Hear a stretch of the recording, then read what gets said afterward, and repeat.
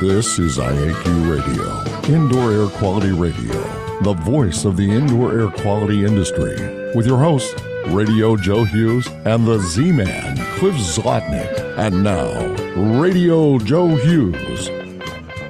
Good day and welcome to IAQ Radio Plus. This week is episode 678, and we welcome Mark Ames, the AIHA Director of Government Relations and we're going to go over the recent White House Summit on indoor air quality, a big event for the indoor air quality world. The first time ever the White House has uh, kind of recognized this as a major issue.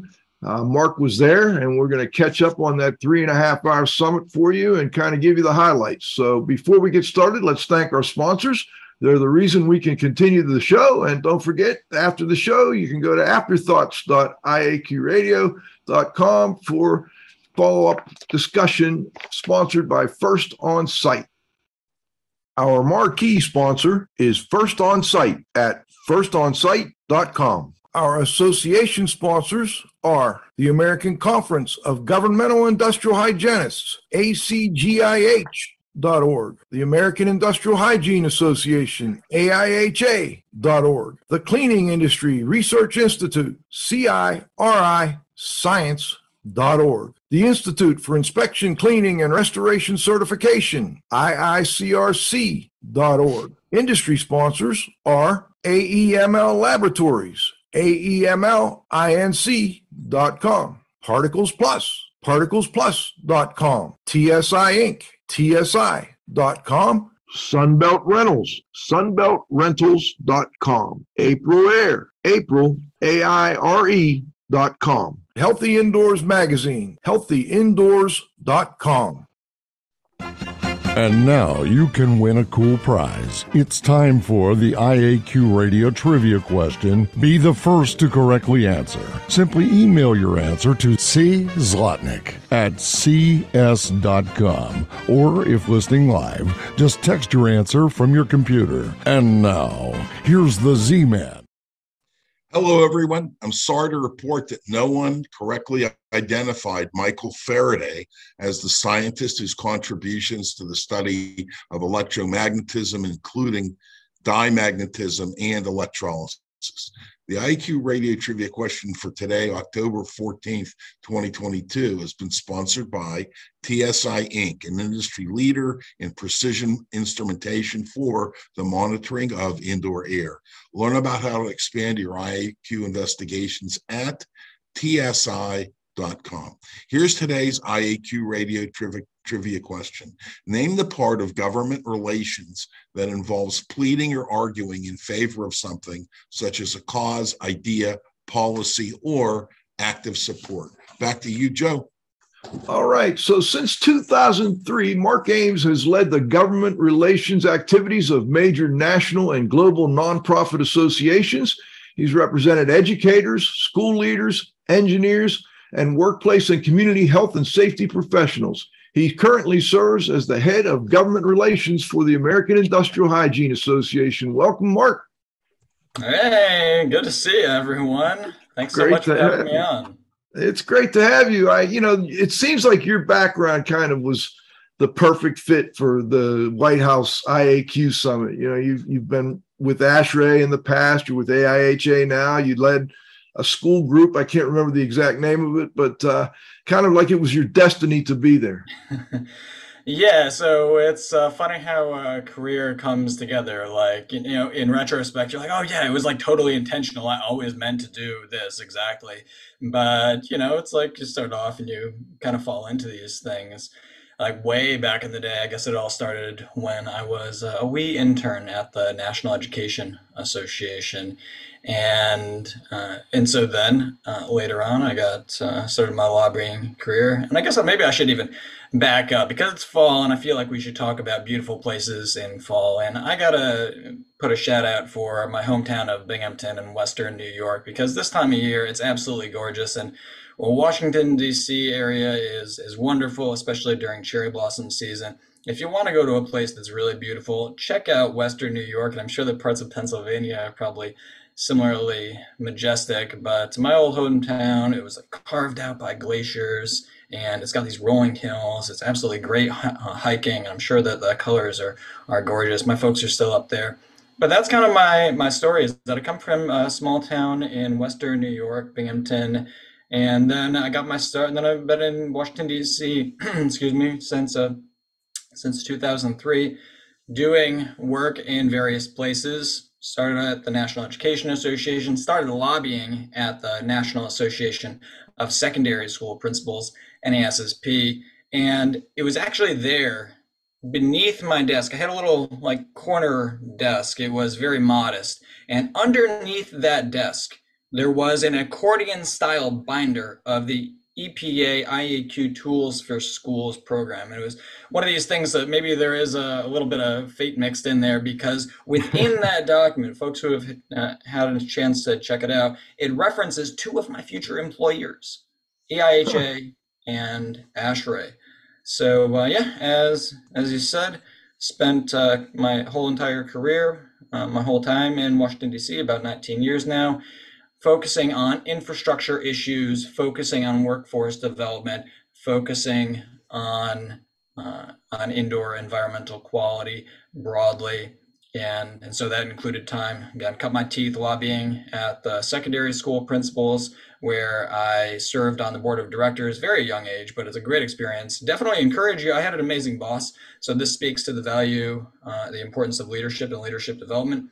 I had a really supportive boss and so she encouraged me to do two things that were really transformative for me. One, she encouraged me, and I did complete, uh, I became an education policy fellow.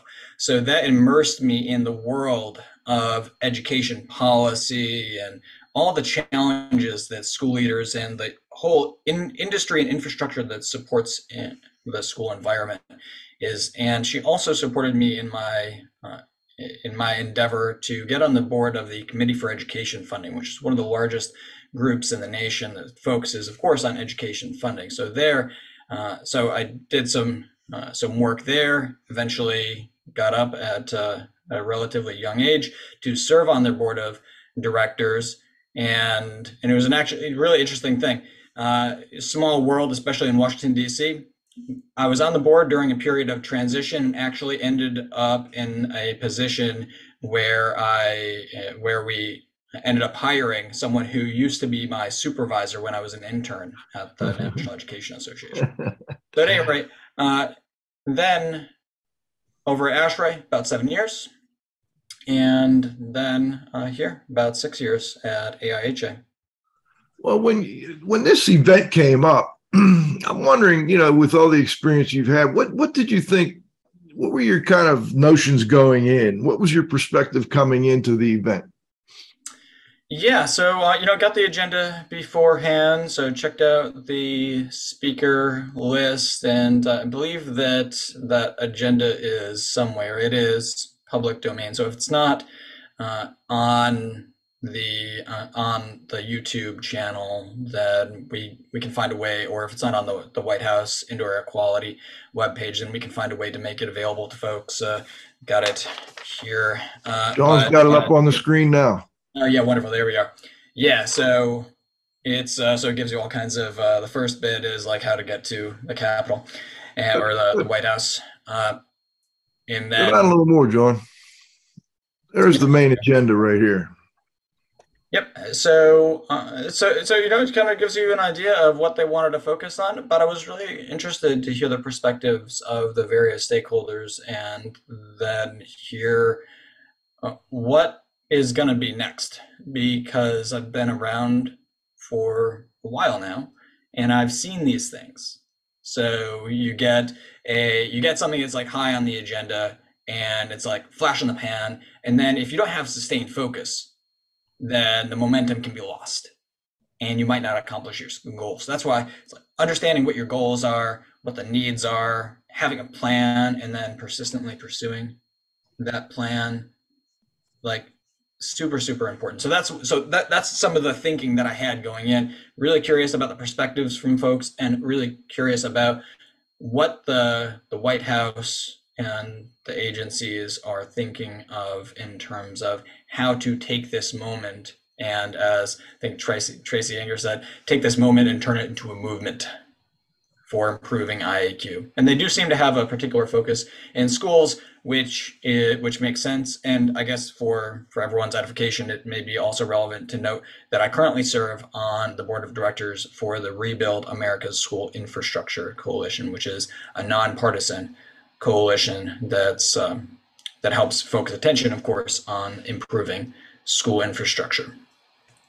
You know, um, what we were supposed to have Joe Allen on, who was one of the he was the first speaker after after Dr. Jha. Um, and he's going to be back with us. He's going to get with us on November 18th. But when I saw this event and I saw your name, I was like, oh, that's perfect. Maybe if I'm lucky, I can get Mark to come on and give his thoughts. So what, what we've done is uh, we brought you in and we've, we've actually cut some clips. And John, why don't we jump right to that first clip so people can get an idea of how this started out? I, I think what Mark and I are going to try and do is give you in this 45 minutes we have left here uh, a, about three hours worth of, of the conference and kind of our highlights. So let's start with that first one, John. a simple case, and there are lots of cases for it. And I'm going to tell it to you as a clinician. So I'm a hospitalist physician, and before I took on this job, uh, every winter, December, January, I would spend a month on the hospital wards as a hospitalist. And here's what I experienced every winter pre-pandemic. The hospitals would be stretched, stretched to their limit during the holidays.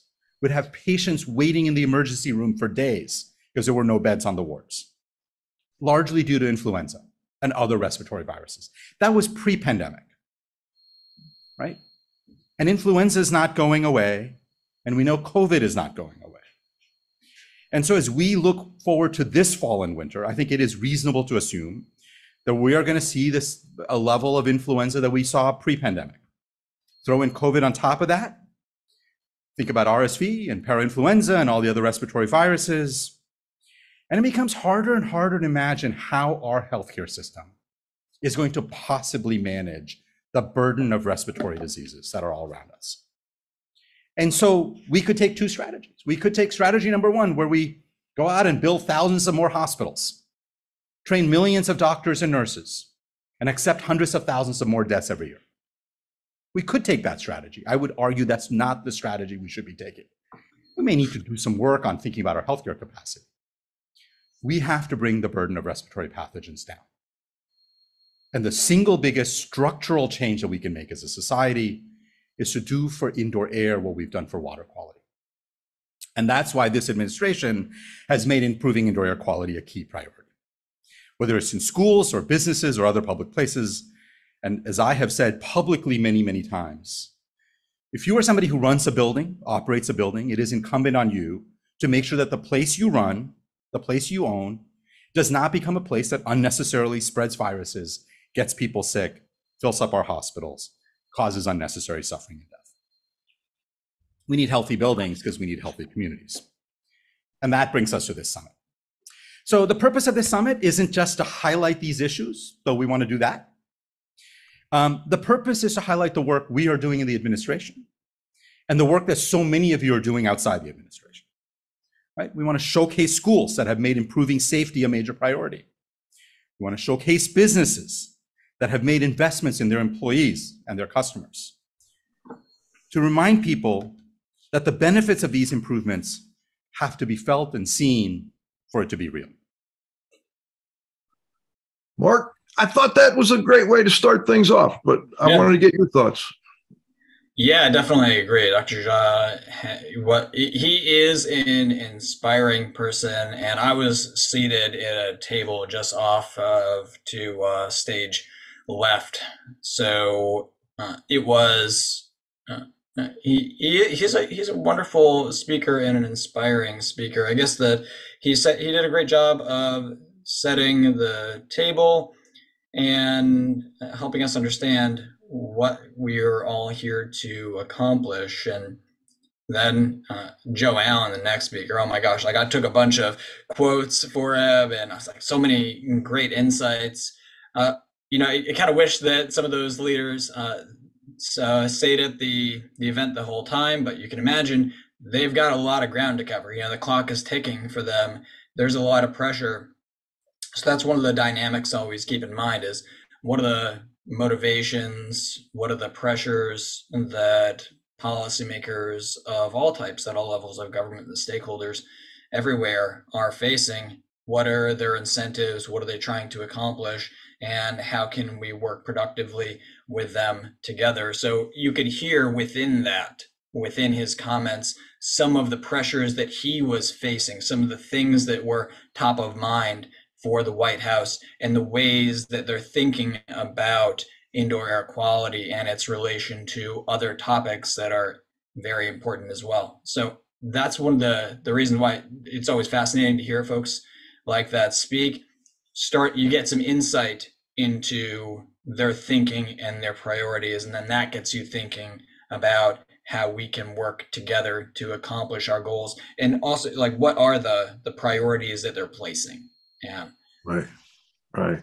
I think it was nice too to see the medical community um, and him kind of as starting it out as tying the medical community to the indoor air quality world. And I, I think in the future that's going to be a big key for us to get the kind of traction we want you mentioned joe allen let's play that second clip john Dr. Allen will be with us, by the way, November 18.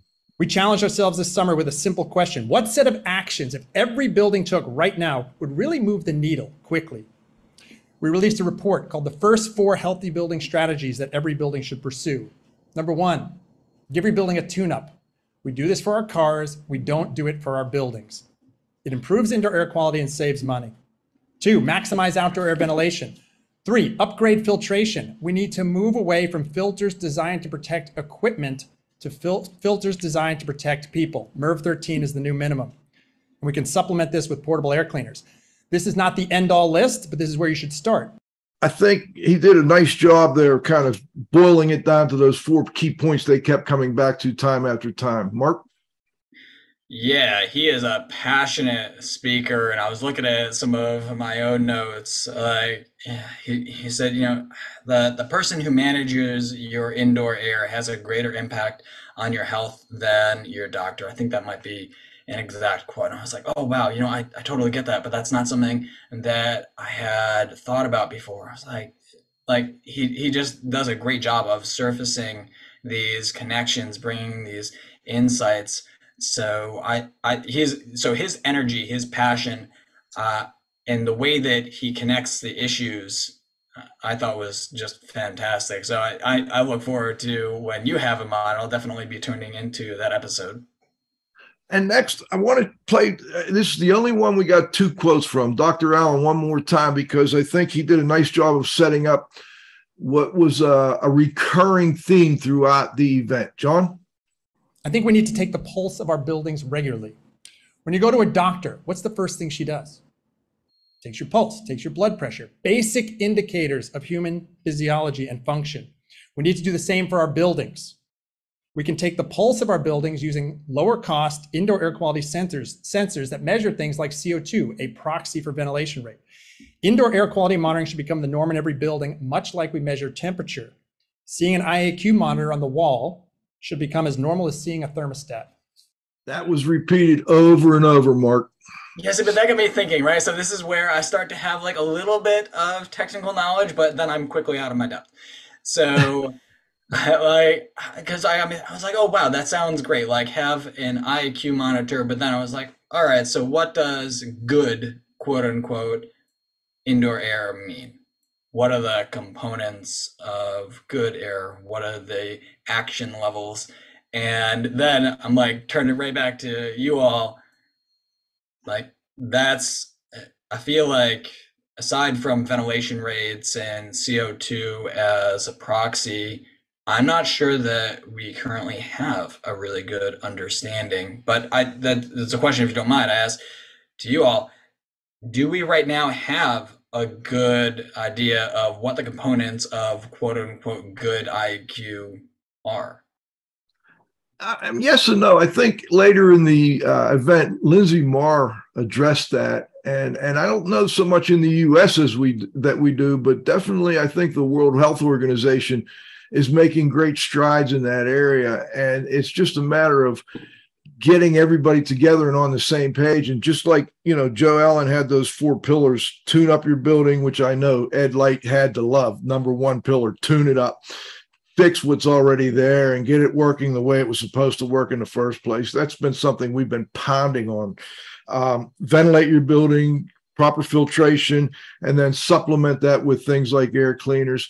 I think we need to do the same simple things with respect to what is good indoor air quality and, and give people metrics that they can measure and then either, you know, reach or not reach and, and then put a scorecard up. So yeah, that makes sense because you could imagine that people want a dashboard, you know, like they want, they just, they just want like the, the building occupants for the most part are going to be non-technical and maybe they want a score or maybe they just want a simple red light, green light, yellow light, or maybe even just a more binary red light, green light system. And uh, and, and, and maybe they even want like I think that Boston City Schools has done this, even put a, a, dashboard online that folks can access and say, here's the current status of uh, each school building, for instance. And and then what do you do when you don't have good air quality when it's in the red, so to speak? then do you, do you open a window? Well, that presupposes that you can open the window, which introduces potential safety concerns. It also has an intersect with, uh, it assumes that there is good outdoor there and that, that there is good uh, outdoor available, uh, outdoor air available. And then it also assumes that that window is in a position that's like not near an exhaust. And so there's all of these confounding, complicating factors that, of course, make IAQ a super fascinating issue and has so many connections and impacts. But at the end of the day, it is clear that we have to do more. So I guess that that's a, another thing that like his comments make me think that what are the metrics that we have to know that there's not good IAQ? Is it that we're going in a building or a, school? Or uh, is it that we're going to put sensors in various places? Are we using the age of a building as a surrogate? Is it the configuration of a building? Is it what is it like? What are the metrics that we're using to define these these summary conclusions or these episodic uh, uh, indicators of good or not so good air quality? So it's uh, on the one hand, it's like yeah, like it seems really simple, but on the other hand, it seems like it's quite complex. And then, especially the thoughts that I have in government relations are what are the policy levers that we're trying to use? What's the really behavior that we're trying to change? And like, what's the specific objective? And then that gets even more complicated because it's very context specific. And then I don't want to uh, jump ahead in case you were thinking about uh, going in this direction, but there's so many. It's all very local context uh, specific.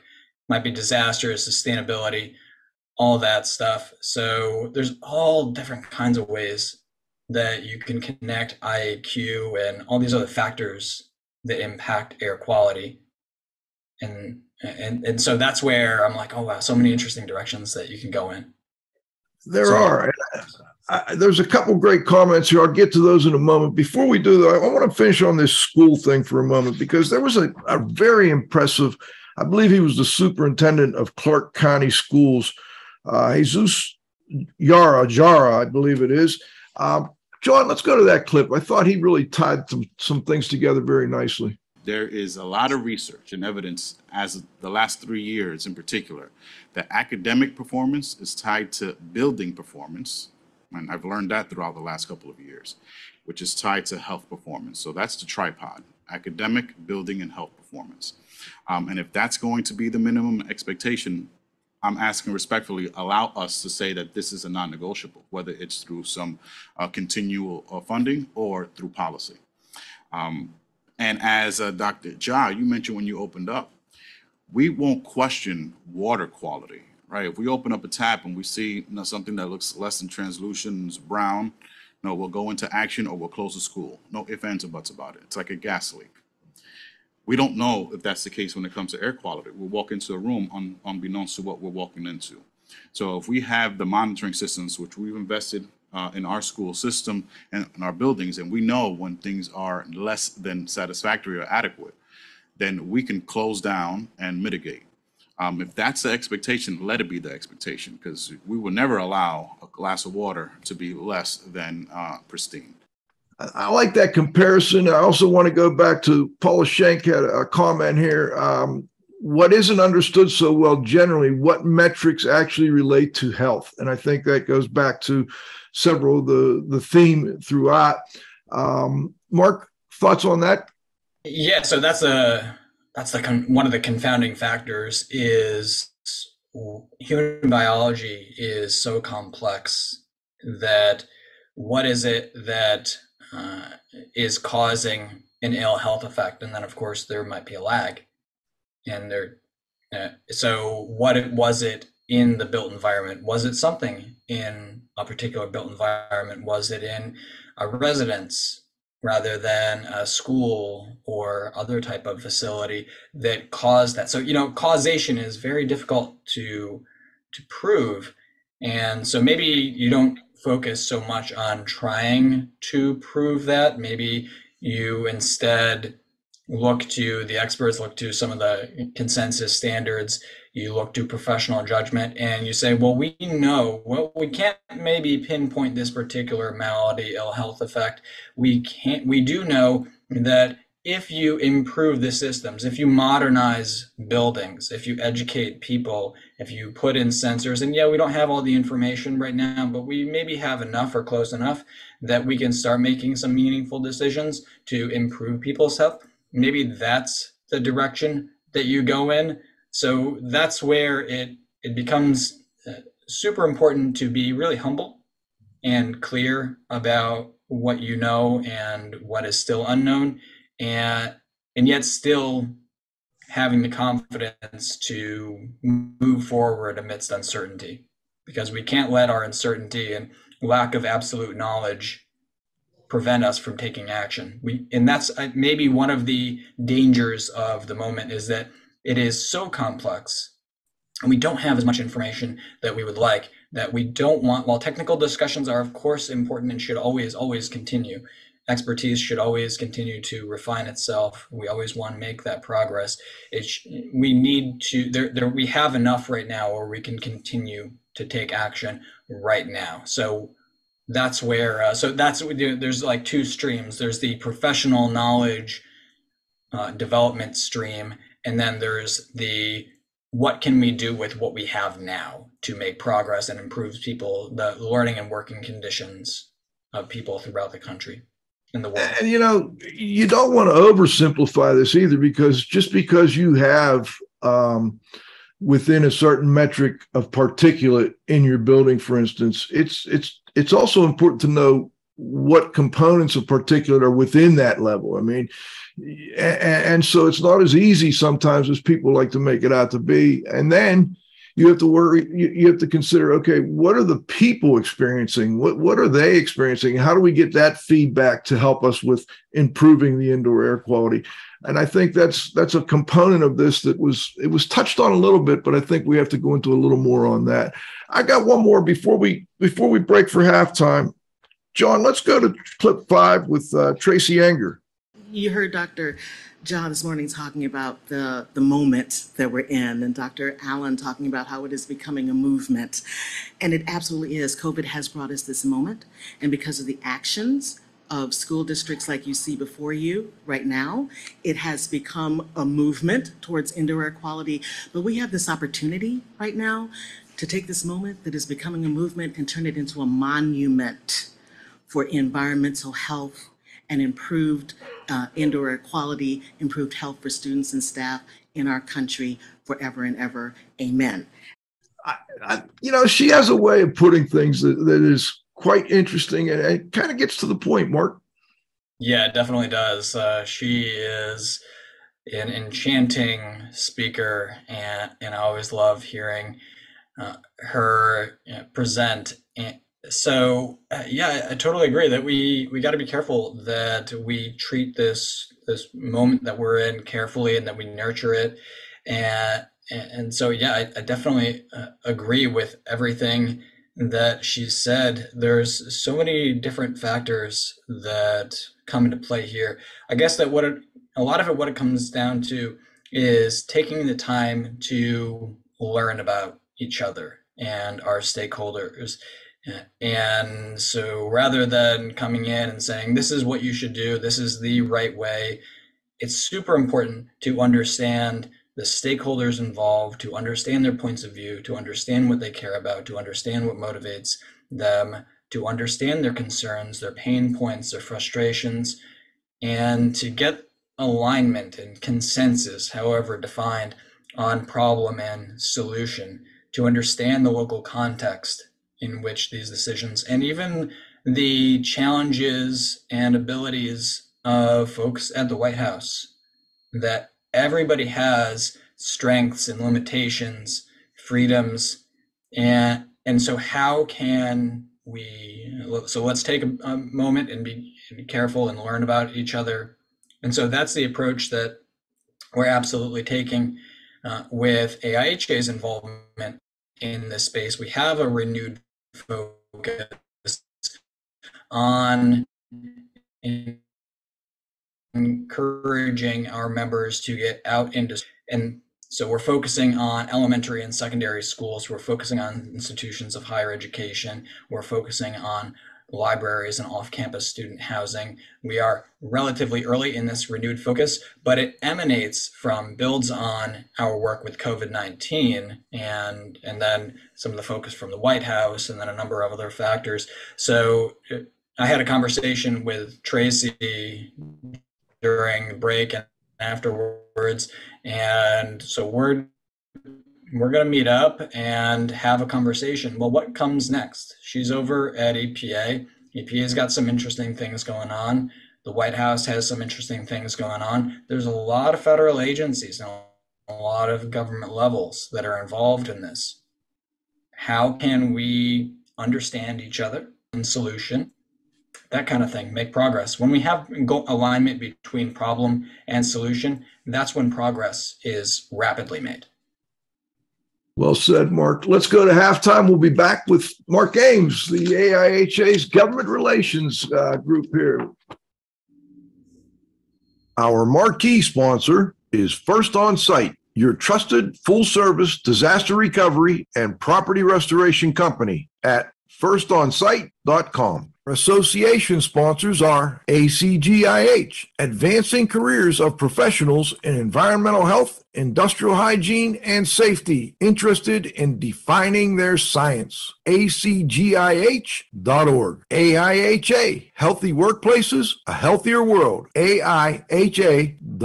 The Cleaning Industry Research Institute. See more deeply through science and research. CIRI science.org. The IICRC, a nonprofit standards development and certifying body for the cleaning and restoration industry, IICRC.org. Industry sponsors are AEML Laboratories, free shipping, great pricing, same day results with no rush fee, AEMLINC.com. Particles Plus, feature rich particle counters, and air quality instrumentation, count on us. ParticlesPlus.com. TSI Inc., an industry leader in precision instrumentation for monitoring indoor air. Learn how to expand your IAQ investigations. TSI.com. Sunbelt Rentals, availability, reliability, and ease for all your IAQ and restoration needs at sunbeltrentals.com. Aprilaire, healthy air, healthy home, April, A-I-R-E dot com. And Healthy Indoors Magazine, a free online magazine for industry professionals and consumers, healthyindoors.com.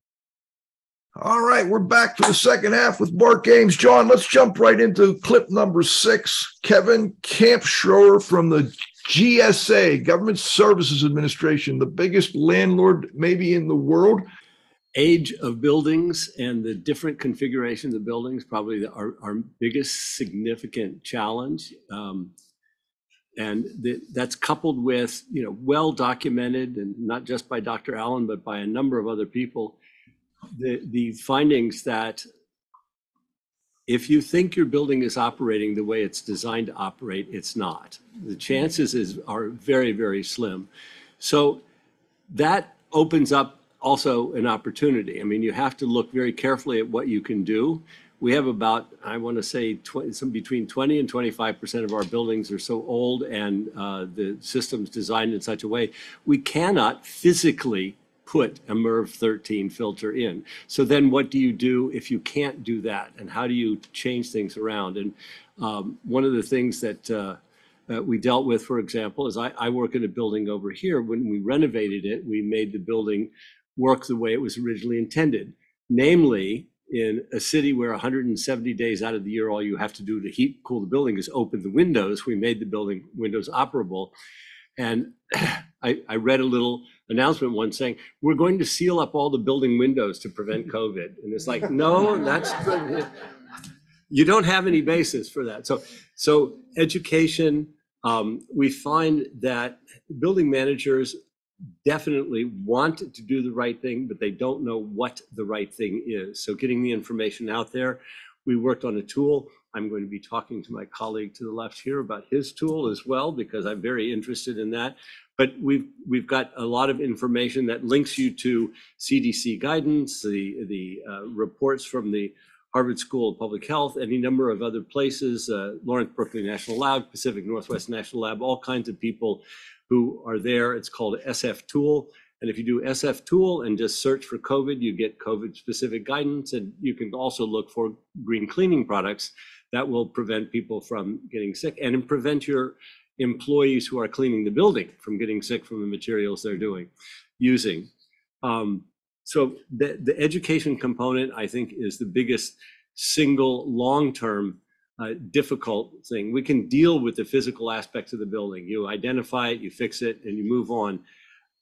People change, people move jobs, and, and we really need to be extraordinarily vigilant about making sure that education doesn't drop away as as we become used to the way we're dealing with COVID today and used to the next one that's coming around because that that kind of complacency is what's going to lead to the next you know mass exodus from buildings and we don't need that I thought that was another theme that kept coming up education and training. You know, uh, later on, we'll talk about UV light, and it's all great. And UV light may work really well, but who's going to design the UV light, who's going to install the UV light, who's going to maintain the UV light. Those are the kind of things that uh, we've got to start thinking about now. And I noticed that um, Dawn had a Dawn Weeks had a comment here to ask Mark about the U.S. EPA's request for information on better indoor air quality management to help reduce COVID and other transmission. And, and Mark, I noticed you put up the link to that. So we have to not only educate the people that we work with, but we've got to educate the government on what we need. Yeah, absolutely. And it was so great to see Kevin again in person. I worked with him particularly closely when I was at ASHRAE. We walked into the Eisenhower Executive Office building uh, together, which was where the summit was held. By the way, if folks aren't familiar, when, whenever, like almost always, when someone says they're going to the White House, they're usually, unless they're meeting with like the president, they're almost always meeting in the Eisenhower Executive Office building, which is right next to the White House, and that's where this summit was held. A beautiful building. I put up some pictures uh, on my LinkedIn page if you want to check it out. Uh, and, so, yeah, that's one of the, the biggest uh, take home messages that from this whole summit that uh, that I, I, agree with that Kevin said that the importance of education goes to that consensus bit that I mentioned earlier. Getting consensus about the problems getting consensus about solutions and keeping in mind that it's context and a specific and hyper local uh, keyed to a person and community's interests whether it's sustainability, high performance green buildings, reducing absentee rates, uh, absenteeism rates, whether it's uh, resiliency, disaster preparedness response, recovery, education, awareness, super, super important. And in that, because uh, it's not like, like, because there's like three issues, one or three levels of issues. One is that not everyone's aware that IAQ is a problem Yep. And then the folks who are aware that maybe it's a problem, that they, they're not sure what to do. And they're, uh, and then, so they don't have the technical expertise. And then even like, so there's, there's the problem, uh, raising awareness about the problem. And then, okay, I want to take action. What do I do? And then who do I go to for those solutions? And that's one of the places that AIHA members and other technical experts, engineers, etc., can really play a starring role helping whether it's a school leader, a district leader, or a building manager, etc., make those decisions oh. on which technologies to implement, all of that type of work, which solutions are appropriate given what they're what they want to do, what their goals are, what their budgetary constraints are, and even the different funding mechanisms that are available. Not everyone's aware of all the different federal funding that might be available or other types of public-private partnerships, different mechanisms for financing. So it, it's a lot. It's a lot for anyone to digest and take in. But that type of knowledge is another place where we're really strong. We can help out. Yeah, I think AIHA and ASHRAE, both you know groups that you've worked a lot with, uh, have done a great job on education. ACGIH, all of these groups are trying to get materials together, and and and it was because of COVID. All of a sudden, I mean, it, it's not that they weren't before COVID; they were, but it really accelerated during COVID. So it kind of goes back to what Tracy Enger said that that we need. You know, we have this moment. Um, we have some momentum going. Now we need to really make a monument and um, make sure that indoor air quality is something that everyone thinks about all the time. You spend 90% of your time indoor air, indoors. Uh, you've got to start thinking about, like water quality, indoor air quality. John, let's go to the next one. This is going to be Guy Vardy from Silverstein Properties, large landlords, class five buildings um, all through New York and other areas. Very interesting gentleman. As a landlord, we are not in the real estate business. We are in the productivity and engagement of employee business. Um, we are as successful as our company, as our uh, customer, and our customer are going to be success, successful if their uh, employees are going to be productive and engaged. And air ventilation has an impact on three areas. A, health is uh, important and, and safety. The second one is sick days. Um, one of the first tenants that moved to the World Trade Center 15 years ago moved from a really old building that was later demolished. And they report 30% uh, reduction in, uh, in sick days. It goes back to health again, Mark. That health component is so important. Yeah, what's going to motivate folks to action? Maybe it's a reduction in sick days. There are studies that show that cognitive performance increases when you have reduced CO2 and VOCs in a space. So productivity, performance, health, well-being, comfort, they're all impacted by IAQ. And a lot of folks just don't realize.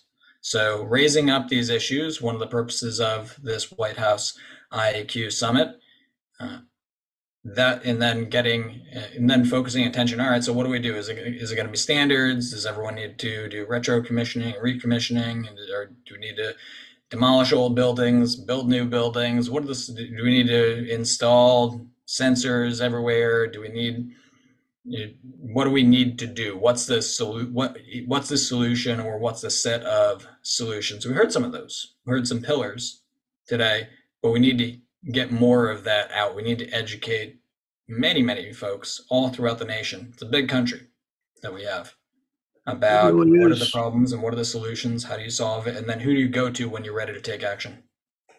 And how do you measure the payback? Right. I, yeah. I think, you know, I, have got a very conservative friend who just texted me privately, you know, I can see him going crazy about, well, we're going to spend all this money. Well, you know, sometimes you spend money to save money. Um, and, and businesses and the government, the largest real estate owner in the world may be the GSA. Um, they're really being proactive from what I understand. And, and they are kind of the, um, they are the place where a lot of the experimentation gets done. That was brought up in in the in the conference where you know GSA um, like underfloor ventilation, uh, underfloor um, the mechanical systems that come up from below. And then, you know, that stuff was done at GSA first, and, and they can be a place where we can experiment on a lot of these things and try and get it right. Let me go on to the next one. This is uh, Dr. Shelley Miller, who's been a, a, friend of the show. We've had on the show a few times. I thought uh, this last group, Shelley Miller, Rich Corsi, and others, brought up some great points. I think that um, as far as needs for um, implementing some of these solutions that we already know work, but we're just not using them effectively. We need a lot of infrastructure around training. Uh, we need installers, we need training, we need operators. So, for example, if you decide that you want to install a germicidal UV system in your facility, in your space, that's really good sense because there's a lot of respiratory diseases that we face every day. Think about childcare centers when we always have kiddos coming home and bringing diseases home to their families. I, I think germicidal UV could be very effective uh, against a lot of um, a lot of things we face every day, not just the COVID-19. We were looking at germicidal UV way back in the 2000s for our outbreak of tuberculosis. We continue to see that it's effective for measles. Uh, we were, Don Milton and I were wanting to study it for flu outbreaks. So why can't we put a little bit more emphasis on, on these kinds of technologies, but we don't have the people to design it. Uh, King County, Seattle had to call me and I said, I'm not a designer, I'm a researcher. I couldn't tell you what systems you need, but I will tell you who to call of which again there's not that many experts. We need you know we need in um, investments in the infrastructure the training the the maintenance the personnel like how but we have to get it in um, places that we know are trustworthy and and can do good work we've seen problems in south africa with bad lamps with lamps that don't work. And so it can happen and we know fraud and all of these kinds of things can happen. So a good investment could really take us a long way towards investing in the technology we know exists which is 254 and the new technology which we're doing lots of research on is 222 mark your thoughts? Yeah there's a lot of solutions there's a lot of potential solutions and that's another one of the challenges which solution or which set of solutions do you choose? And there are even some folks who maybe you're trying to sell something that's not a great solution. Maybe they're trying to sell a technology that's not proven. I'm not saying that's the case for UV or anything, but that's and this stuff gets really technical, right? So you can have someone who is a slick talker who approaches someone and says, "Hey, I'm going to make your IEQ better," and they and then they sell an expensive product to someone and is that really going to solve their problem or will it create additional problems that type of awareness is another type of education kind of myth busting that uh, folks with aiha and the surrounding community also uh, play a role in doing is educating not just raising awareness about an issue but here are some things to watch for. Here, here's like a buyer's guide. Here's what to consider when uh, selecting a solution. So, though, so that's uh, that's the direction that her talk got me thinking. That there's some really interesting technology solutions out there, and that's another. Uh, I could imagine that if you're having to select uh, the solutions for your building, if you're trying to select a contractor, like where do you go? AIHA can definitely help with that, other organizations as well. But I could just imagine, especially if you have a larger building, that it can be pretty complicated and, and very intimidating. Overwhelming at times. Let's go to the next one, John. This is Rich Corsi. I think I've got two left this one and then the kind of summarizing one for my perspective, anyway. But let's listen to what Dr. Corsi has to say, another great friend of the show. The first thing I'd like to say is that relative to other fields, the indoor air quality fields, research for indoor air quality uh, research opportunities and funding has been anemic in our country historically. Um, we are where we are right now with outdoor air quality, which is dramatic improvements, even though we still have some work to go, um, because of the Clean Air Act, 50-year-old Clean Air Act. And initially, with that Clean Air Act, there was a lot of debate as to what the standards should be. And an initial condition was just was was put forth. Um, the standards for outdoor air quality today look nothing like they did 50 years ago. They've evolved tremendously, and the reason they've evolved they've evolved is because a whole lot of research that has led that evolution over 50 years. 50 years, right? So I don't think we're going to solve indoor air quality problems overnight. It's taken 50 years to get to where we are with outdoor air quality. But I think we need something akin to the Clean Air Act for indoor air quality. Um, in the year 2000, 22 years ago, I wrote an article um, that was a call to action and said that we needed and we needed new Clean Air Act amendments that dealt with indoor air quality. That was 22 years ago, and tried to lay out the importance of indoor air quality, all the things we're talking about today, 22 years ago. Imagine had we started 22 years ago, where we would be today. We'd be almost halfway to where we've gotten with the outdoor, you know, the Clean Air Act. So, so what I'd like to see is something like, doesn't have to be called this, but something like a Clean Indoor Air Act. Well, he said it would be uh, I don't know if he said controversial, but something like that, and he was going to kind of stir the pot a little bit. What did you think, Mark? Yeah, I think it's an interesting idea that so what are the unmet needs? And what do we need to accelerate progress? This is where I look to guidance for, from you. I look for guidance from, from you and other AIHA members and other stakeholders what's the what's the gap? Where do we want to be? And where and what does it take to get there? I feel like I probably have a vision of where of the type of, the type type of world and community that I would like to live in. What uh, what a modernized building looks and feels like, but what does it take to get there? And how can we accelerate progress? What's the research agenda for IAQ? What are the unmet needs? and how can the federal government, which is a huge uh, uh, funder of research, how can it be a partner? So that type of information is key in the conversations that I'm looking forward to having with AIHA members and many others. That the better under the, when we can understand even more finely what's needed, then we can communicate that to the folks in Congress and the agencies, etc. And then again, that consensus on problem, goal, direction, and solution, then we can make progress towards those goals. But having a common vision in mind and the obstacles that stand in the way, key stuff.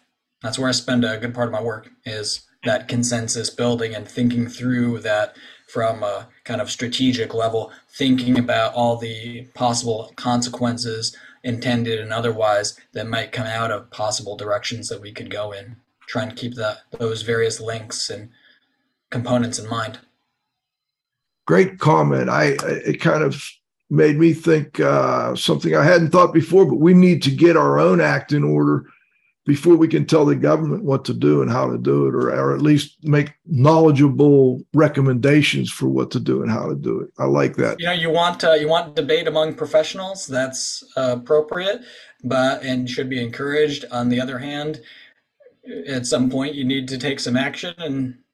And so, when do you have enough information to say, yeah, this is a direction that we want to go in? Uh, you know, continuous learning and progress. It's um, you know, look, the, the struggle towards progress is something that we should embrace. And, and that's also something that we should always be clearly communicating. It's okay when we don't have all of the answers, when we don't know everything. It's okay to tell that to people and to be honest about where we're at. It helps. Well said. Let's go to the roundup, John.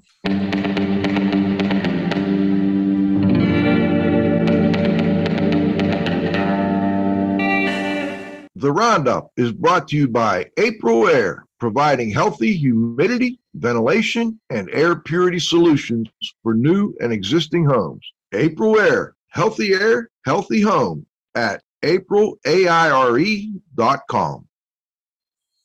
All right, let me get it over to the Z Man real quick. Uh, Cliff, you didn't get a chance to jump in. I wonder if you have any thoughts, comments, or questions for Mark.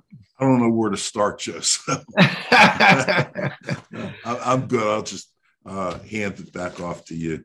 All right. Well, let, let me let me do this. I've got one more clip that kind of I thought the one missing thing from the event was, and it, it happens regularly at these events. Uh, lots of you know input from the research area. By the way, we didn't mention there was also a panel on how to help um, not just low income, but you know handicapped people, etc., who also you know um, immune compromised people and, they did a nice job in that arena as well. It's something that we always have to keep in mind. But I thought the one area that was underrepresented was the indoor air quality community. Why wasn't Mark Ames from AIHA Regulatory Affairs on one of those panels, or or or those from you know somebody from ASHRAE that?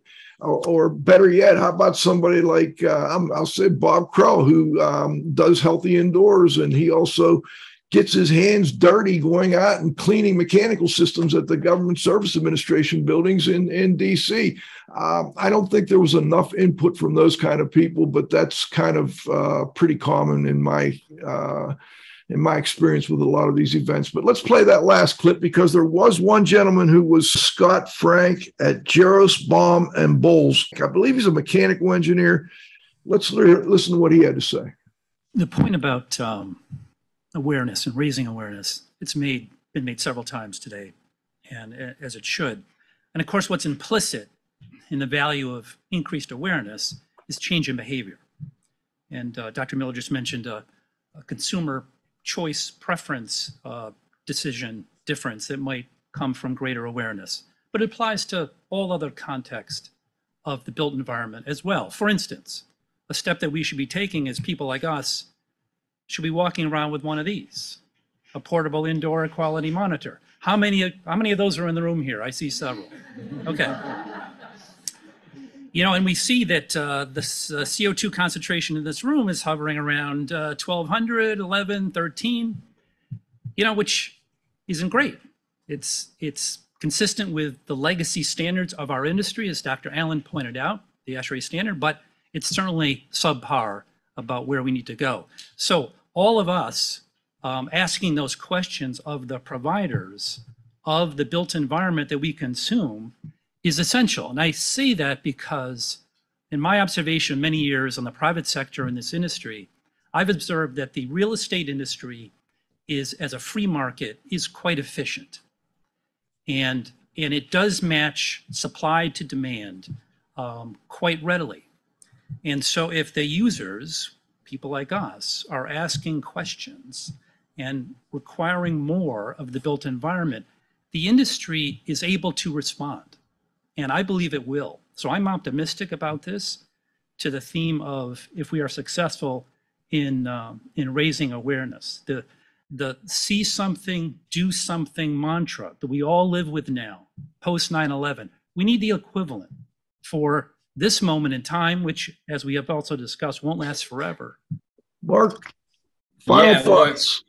community level awareness, right? So this is a White House summit, but ultimately this change is going to occur at the individual level. It's going to it emphasizes the importance of reaching out to communities, of raising awareness, of helping people understand why IEQ matters, and so again, it's going to be a grassroots thing. Like the change that we see isn't going to be driven by the White House. Yeah, they did a great job raising the profile of this issue. I'm glad that they had it, and I do thank the White House for for hosting this event, and I look forward to working with them to advance our common goals. Uh, but this is going to be something that the change we see will always be at the local level. It'll be driven by the people on the ground. It'll be driven by our members and the other professionals on the ground in communities. That's why our greatest strength is our volunteers, it's our communities, it's our network. When you look, what's the greatest value that people often ascribe to joining AIHA? It's the networking, it's the people. So it's influencing people, it's having conversations and, and with people that you don't know And that's another area that AIHA that I can absolutely help with. How do you have these conversations with various people in the community, with stakeholders, with the general public on the importance of IAQ? So that's uh, so I think that it was a great great point to end on because uh, th- this is going to be driven by folks on the ground for sure. Excellent. Uh, very, very great way to, I think, round this up and finish it off. Before we go, Mark, any final thoughts? Anything we missed that you definitely wanted to get out today? No, I think just thank you so much for having me on the show. It's been a pleasure, a fascinating discussion. So thank you.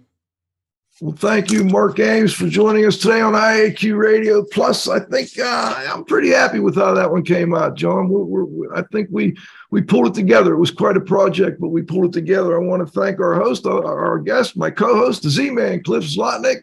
John, you got to have faith that the controls, most importantly, our loyal audience and sponsors. Uh, we'll be doing a flashback next week, but we put a great lineup coming up in two weeks from now that uh, you're going to see four or five great shows in a row here going right into the holidays.